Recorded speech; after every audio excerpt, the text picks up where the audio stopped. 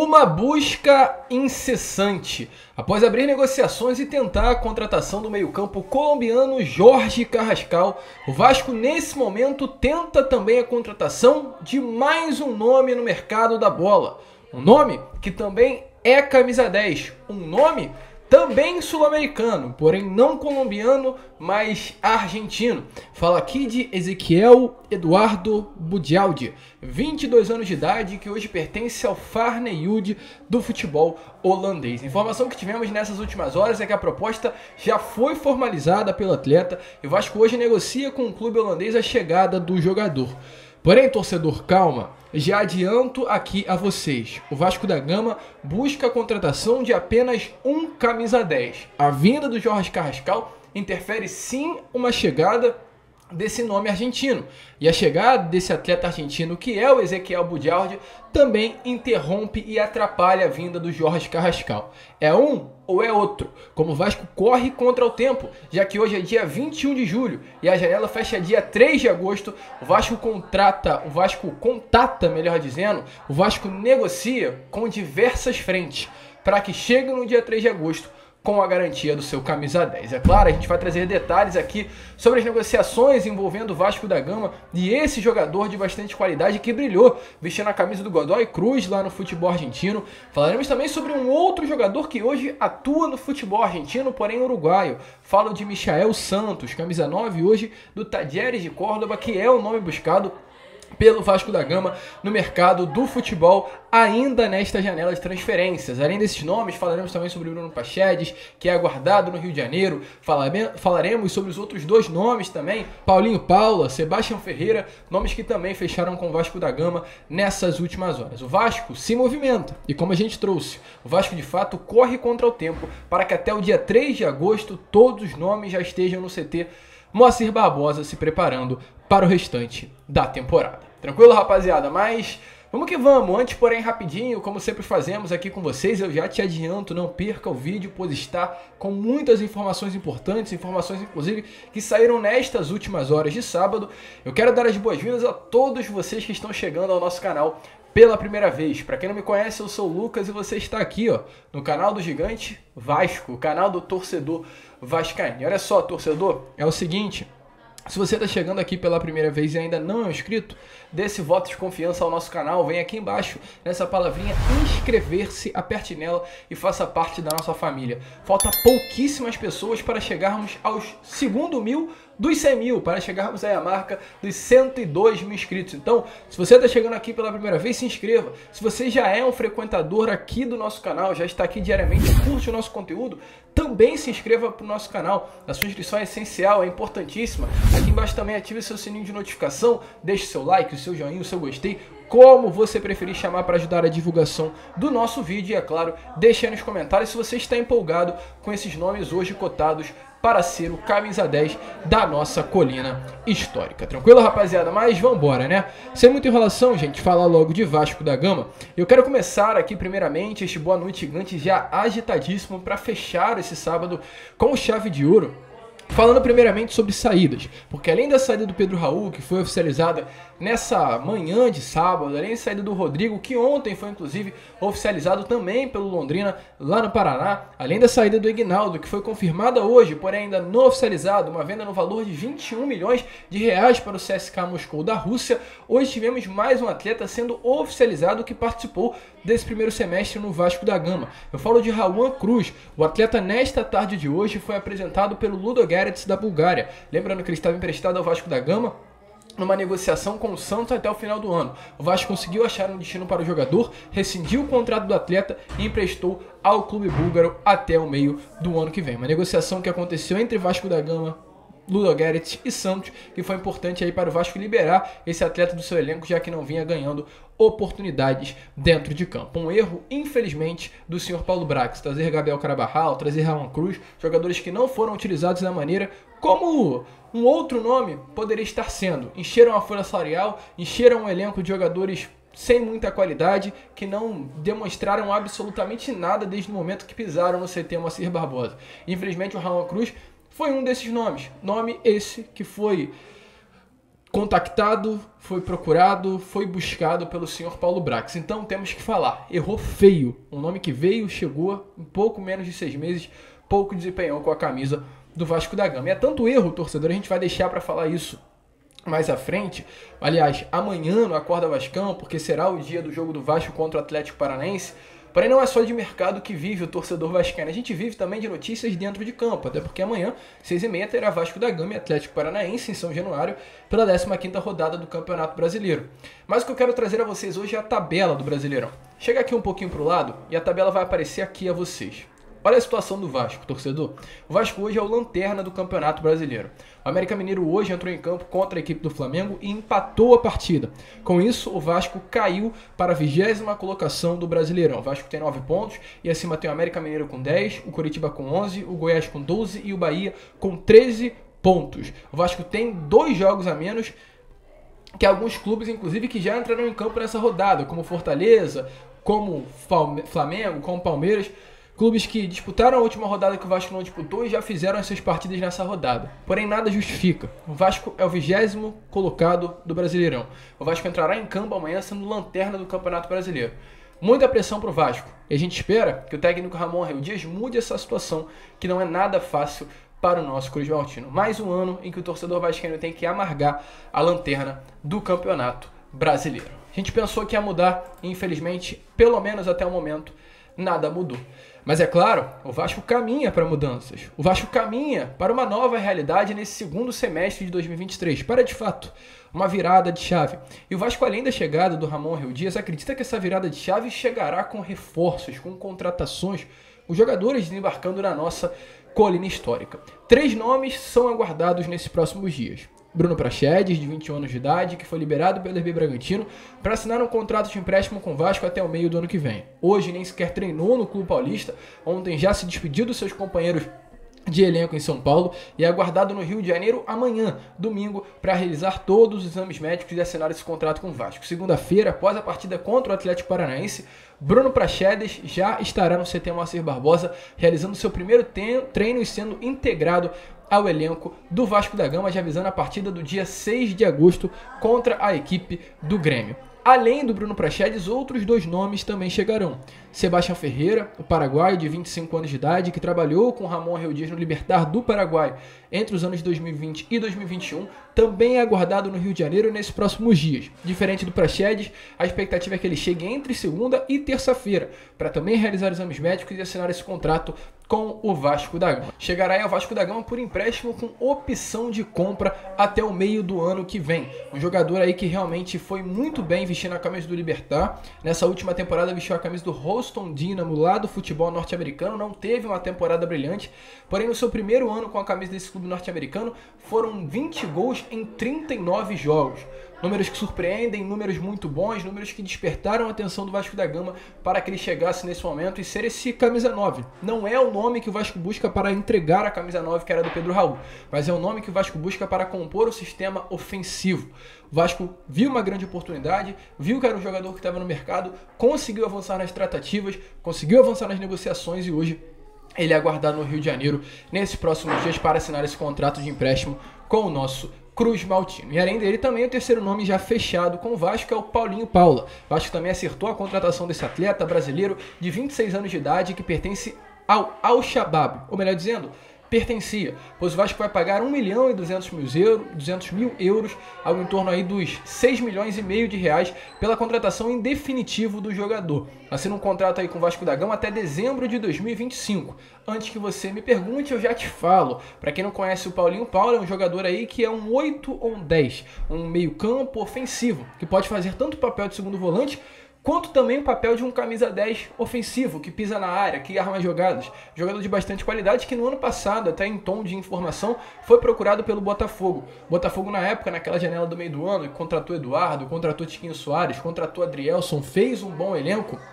foi até o Al-Shabaab procurar o Paulinho Paulo. Colocou um milhão e meio de dólares na mesa do clube árabe, porém na época o clube acabou não aceitando essa oferta. Hoje o Vasco conseguiu avançar nas tratativas e contratar o jogador. Um nome que não é um pedido do Ramon Arreu Dias, mas é um nome que chega para compor esse elenco. Já te adianto, não é titular absoluto. Não vem para vestir a camisa 10. Não vem para ser uma peça de primeira prateleira. Vasco busca outros nomes para essa posição para esse status dentro do seu elenco. E é exatamente por isso, mesmo fechando com Praxedes, com Paulinho Paulo, com o atacante paraguaio Sebastião Ferreira, o Vasco ainda está no mercado à procura de mais, um, mais três nomes, inclusive, dar números exatos. Três nomes o Vasco hoje procura no mercado até o dia 3 de agosto. Fala aqui de um zagueiro, fala aqui de um meia e fala aqui de mais um centroavante. O Vasco, além de fechar com Sebastião Ferreira, Paulinho e Praxedes busca mais três nomes no mercado do futebol internacional. Não à toa, o Vasco foi até o Boca Juniors tentar a contratação do Mário Benedetto, informação que tivemos nessas últimas horas, e o atleta recusou a proposta do Vasco da Gama um jogador de renome também internacional que o Vasco tentou nesses últimos dias. O Vasco também, nesse momento, faz sondagem junto ao Palmeiras pela contratação do volante Jailson, que não será mais utilizado no Clube Paulista e por ser uma posição hoje que o Vasco procura no mercado, sondou junto ao Palmeiras a situação desse atleta. Ainda não temos informações se o Vasco vai avançar, mas é um nome que interessa certa corrente dentro do Vasco da Gama. E a outra informação que tivemos é que o nome que volta a ecoar nos bastidores da colinha histórica é o zagueiro Lianco. Lembra dele, torcedor Lianco, um jogador que foi comentado no Vasco da Gama nesses últimos dias, nessas últimas semanas. Uma contratação que interessou o Vasco na primeira janela e uma contratação que interessou o Vasco também nessa janela de transferências, o Vasco chegou a formalizar uma proposta, um empréstimo com opção de compra até o meio do ano que vem, porém acabou não avançando porque o Vasco não se alinhou aos valores pedidos pelo clube inglês.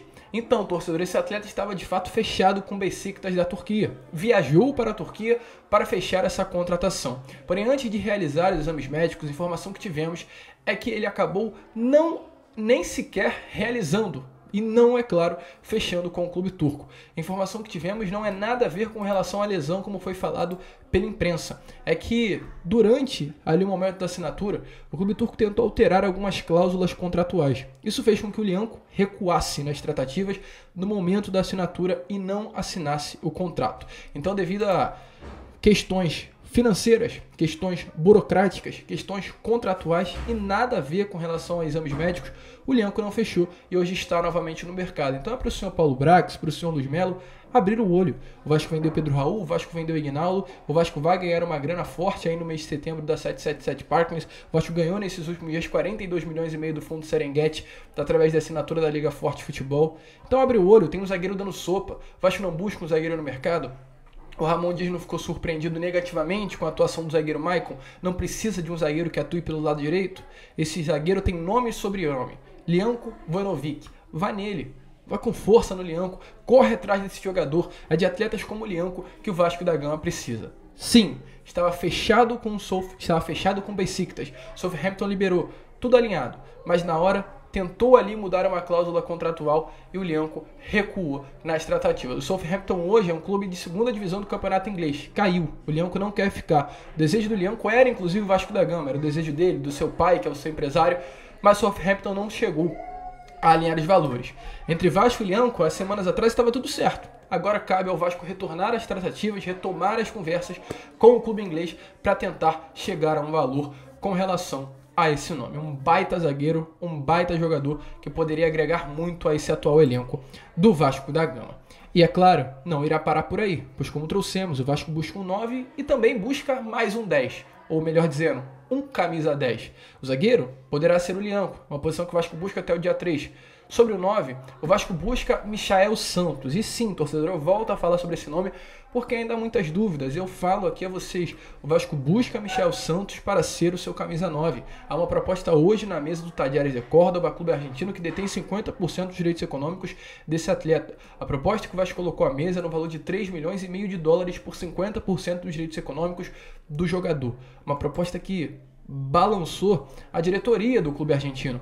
Inclusive, nessas últimas horas, o presidente do Tadiares, Andrés Fassi, deixou bem claro ao Lucas Pedrosa que a negociação continua, mas ainda há uma pequena diferença com relação a valores. Uma diferença na casa dos 750 mil dólares, trazendo para a nossa moeda algo em torno aí dos 2 milhões, 3 milhões de reais.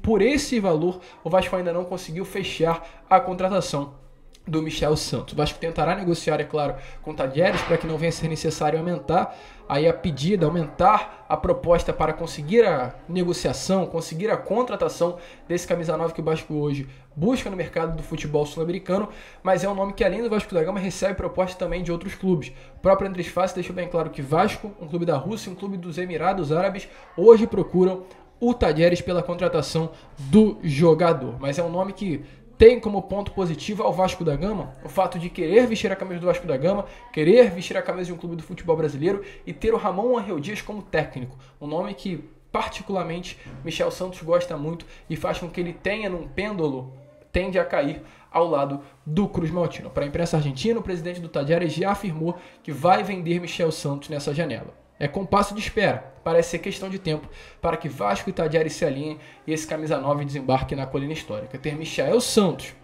sendo camisa 9 e ter aí esse Sebastião Ferreira, paraguaio de 25 anos, que já trabalhou com Ramon Dias, já conhece treinador, sendo entre aspas, né, esse camisa 18 reserva, são dois jogadores de qualidade que mudam sim o nível do elenco do Vasco da Gama. E se o zagueiro poderá ser o Lianco, quem sabe o Vasco não retoma as conversas, já que nesse momento estará novamente no mercado à procura de um novo clube. Se o Vasco tenta a negociação do seu camisa 9, o Vasco também procura o seu camisa 10. É uma corrida contra o tempo. Porque, torcedor, o Vasco nesse momento se vê desesperado para tentar trazer, como vem falando muitos torcedores, essa cereja do bolo.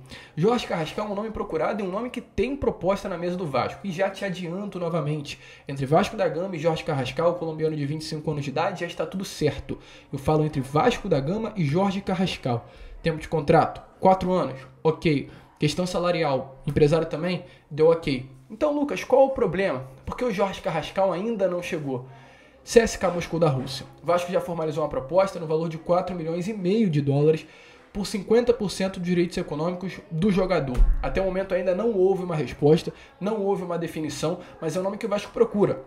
A pedida, a informação que eu tenho, não será aumentada. É essa, está na mesa. Eu acho agora, agora, agora, perdão, aguardo uma resposta do clube russo com relação a essas tratativas para saber se terá o Jorge Carrascal desembarcando na colina histórica nesses próximos dias ou se irá permanecer e fechar com outro clube do futebol europeu. Fato é, Carrascal não quer permanecer no futebol russo e Vasco da Gama é uma possibilidade clara para uma chegada aqui ao Rio de Janeiro do meio-campo colombiano. Mas como eu falei, o Vasco corre contra o tempo. Proposta já está na mesa, já está alinhado com o Jorge Carrascal, mas não vai ficar esperando também o jogador colombiano. Janela fecha dia 3, meu amigo. O Vasco tem que correr contra o tempo para regularizar um jogador até esse momento, trazê-lo ao Vasco da Gama e colocar para treinar e, é claro, ficar à disposição do técnico Ramon Arreu Dias. Com isso, o Vasco busca outras vertentes no mercado. Dentre elas, tivemos a informação agora há pouco, através inclusive da imprensa holandesa, que Vasco negocia com Ezequiel Eduardo Badialdi, argentino de 22 anos de idade, que começou sua carreira no Godoy Cruz da Argentina e foi comprado pelo Fernandes do futebol holandês na última temporada por 12 milhões de reais. É um jogador que nessa última temporada em 15 partidas teve um gol e duas assistências. Não foi tão bem quanto era esperado. No Fernandes ele foi contratado com uma grande promessa, pois no Godoy Cruz, torcedor, ele brilhou. A informação que temos é que ele era um nome diferenciado no futebol argentino. Para vocês terem uma noção, em 2021 na sua melhor temporada foram 44 partidas, 11 gols e 3 assistências, e no ano seguinte, 2020, ano que foi vendido, em 2022, foram 30 gols, 30 jogos, 6 gols e 4 assistências. Não está bem no futebol holandês, pode buscar novos ares e é um nome hoje que o próprio Fernandes está aberto a negociações. O Vasco colocou um valor na mesa, segundo informações que tivemos nessa tarde de hoje. O Vasco da Gama já fez uma proposta pela contratação desse jovem jogador. A proposta do Vasco da Gama que apresentou é no valor de 3 milhões de euros, um valor inferior ao do Jorge Carrascal e um valor superior ao que o Fernandes pagou a Godoy Cruz pela contratação desse atleta. 3 milhões de euros hoje estão na mesa do clube holandês pela contratação de Ezequiel Badialdi. Antes que você se pergunte, eu também já te respondo. 3 milhões de euros é algo em torno de 15 milhões de reais o valor colocado pelo Vasco da Gama mesa do Fernandes pela contratação desse jogador argentino de 22 anos de idade. Porém, já te adianto também, caso o Fernandes não aceite essa proposta, essa oferta na casa dos 15 milhões de reais, o clube holandês está sim aberto ao empréstimo. Informação que tivemos é que o Fernandes não está fechado, acaso não se agrade com a proposta financeira na casa dos 15 milhões de reais, liberar o jogador por um empréstimo de um ano para que ele retorne mais maduro, mais experiente, sendo uma peça importante para o seu elenco no ano de 2024. É o nome que o Vasco busca. A proposta está formalizada. O Vasco apresentou uma proposta pelo meio-campo argentino de 22 anos, Ezequiel Badialdi. Se vai fechar ou não, depende do clube holandês. A proposta está na mesa. A chance, sim, é grande. Hoje Fernandes trata iminentemente a saída desse jogador. E caso o Fernandes não aceita, o Vasco poderá sim, e está inclusive aberto, a avançar nas tratativas por um empréstimo com opção de compra. O que significa? O Vasco está no mercado. O Vasco está doido, desesperado por um camisa 10 e busca jogadores sul-americanos para essa posição. Jorge Carrascal, Ezequiel Badialdi, ficaremos de olho e faremos questão, é claro, de sempre informar a vocês tudo o que acontece no nosso Cruz Maltino. A gente fica por aqui, hein? Esse foi o Boa Noite Gigante, o último vídeo deste sabadão. E amanhã, às 7 horas da manhã, estaremos de volta com mais um vídeo a vocês, o Acorda Vascão, em dia de Vasco da Gama e Atlético Paranaense, no nosso Caldeirão de São Januário. Se você ainda não é inscrito, se inscreva. Falta pouco para a gente chegar aos 102 mil inscritos. E como sempre falamos aqui, vamos que vamos, compartilhem, se inscrevam, saudações vascaínas.